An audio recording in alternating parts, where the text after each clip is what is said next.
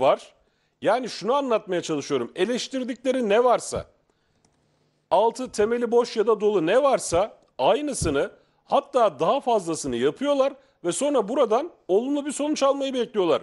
Şimdi Fakı Baba, Eşref Fakı Baba büyük bir gürültüyle AK Parti'den İyi Parti'ye geçti. Kendisi Şanlıurfalı ama Şanlıurfa'dan aday olamıyor. Nereden aday oluyor? Ankara'dan aday oluyor.